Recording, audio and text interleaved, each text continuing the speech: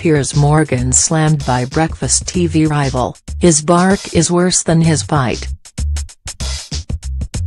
Dan Walker has a softer approach on BBC Breakfast, which pulls in bigger ratings.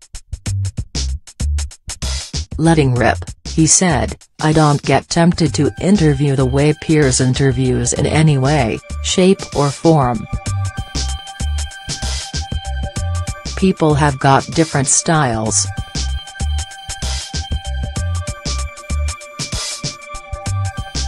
I am not a shouter.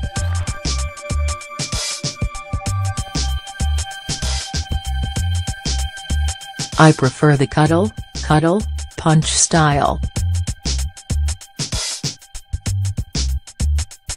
You can still ask tough questions without shouting at people. Just because you shout at someone doesn't make it a successful interview.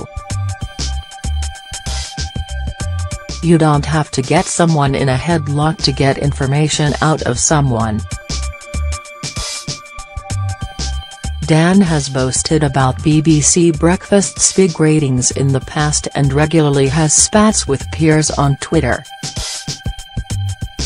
He said, Piers is a very easy target on Twitter. In real life we get on really well.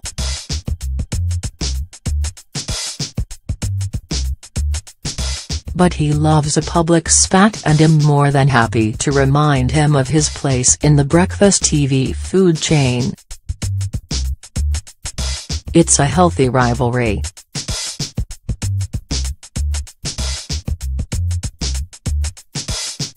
Our programs are very different.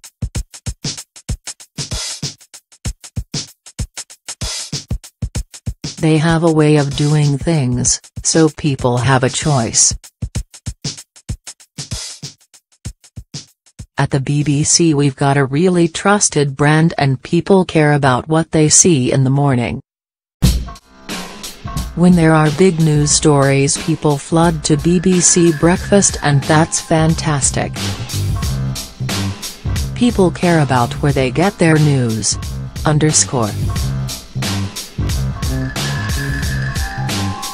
Stars of Love Island will take over in tonight's episode hosted by Katherine Ryan and Jimmy Carr. Chris Hughes, Olivia Attwood, Amber Davis and Theo Campbell all appear, and things get awkward.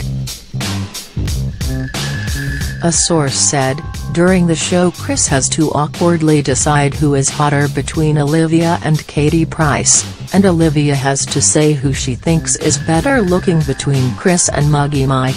Tune in at 8pm on Comedy Central UK.